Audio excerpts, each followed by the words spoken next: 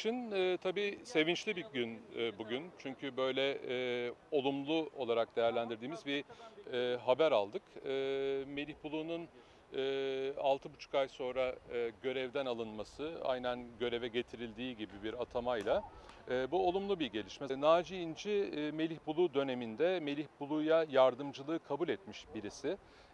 Biz her açıklamamızda Melih Bulu'nun istifasını talep ettiğimiz gibi Naci İnci'nin de istifasını zaten talep ediyorduk.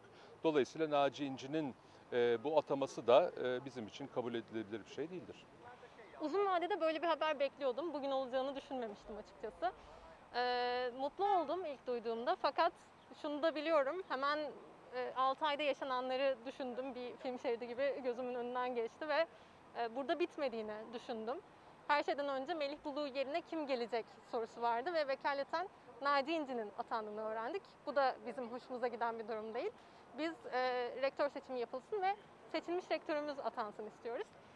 Ee, onun dışında 6 ay boyunca okulda, üniversitede yapılan yenilikler yani gerici yenilikler e, bizim için oldukça hayal kırıklığı yarattı. Ve bunların da geri alınmasını istiyoruz ve akademik, özgür akademik ortamda var olabilmek istiyoruz. hocalar, öğretmenler, biz, öğrenciler ve ne diyebilirim? Bir dakika. Ee, en başından beri kayyumlara hayır dedik. Sonuçta kim gelirse gelsin. Okulumuzdan biri bile kayyum olarak atansa yani okulun içinden veya dışından olması çok da fark etmiyor. Olay tamamen atama burada. Evet güzel bir his yani bunun gitmesi ama yani tamamen bitti diyemeyiz asla. Daha yapılacak çok şey var. Bir LGBT artı kapatıldı. CİTÖK kapatıldı.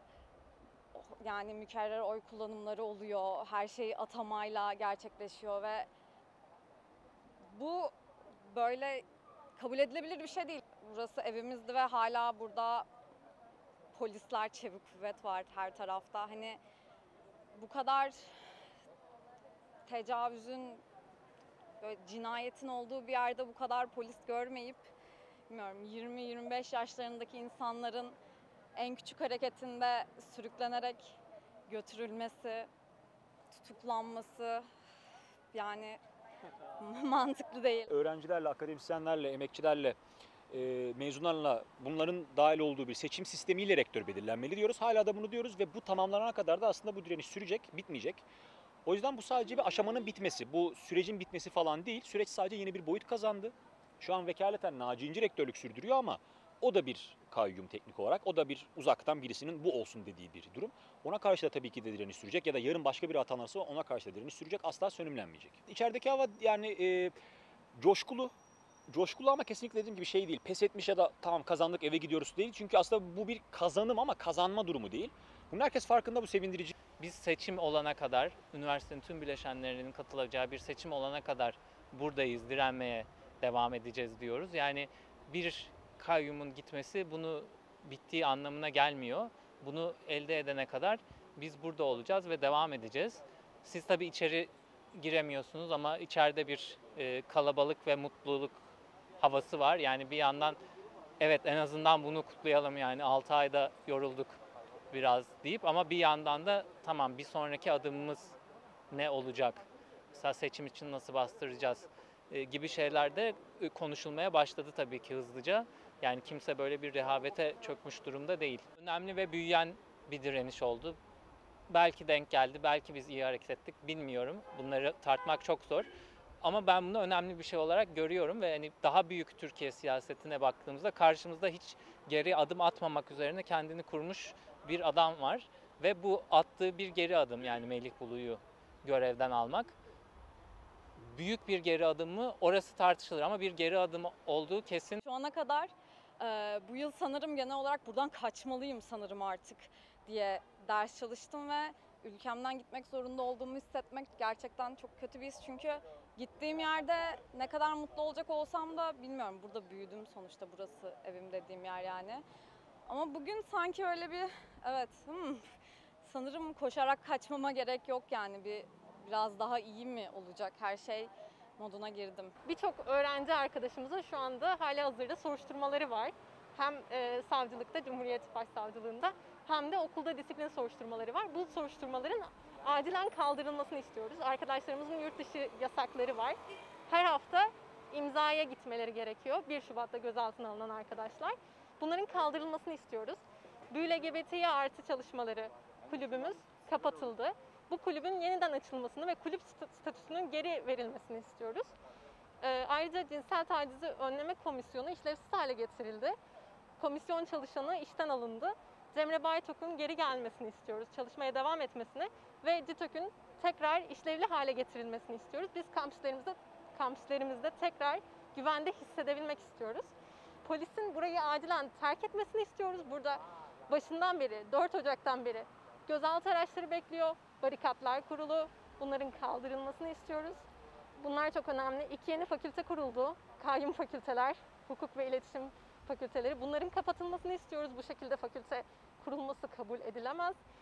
Ayrıca e, bize bu süreçte çok destek olan Feyzi Erçin hocamızın yaz okulunda ders verebilmesini istiyoruz. Bu hakkının kendisine geri ver- verilmesini istiyoruz.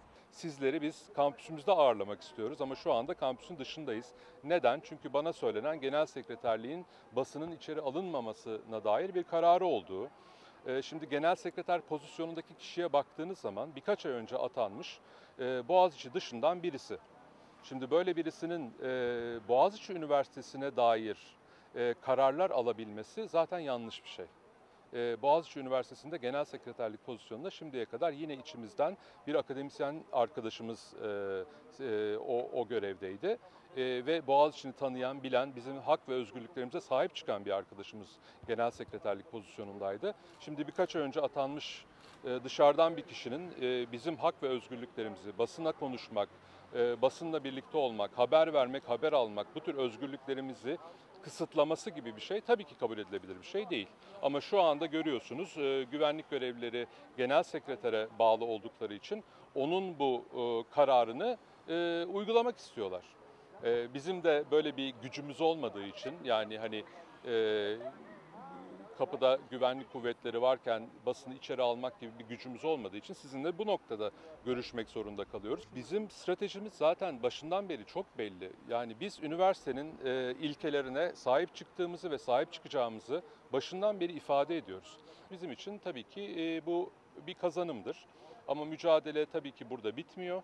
E, biz ilkelerimizin arkasında duruyoruz ve e, mücadeleye de devam ediyoruz. Çünkü e, kurumsal olarak özerk, akademik olarak özgür, e, aynı zamanda şeffaf, demokratik bir kamu üniversitesi mücadelemiz e, bizim devam ediyor. Hem Boğaziçi için hem Türkiye'deki bütün yüksek öğrenim kurumları için bu mücadeleye e, devam ediyoruz.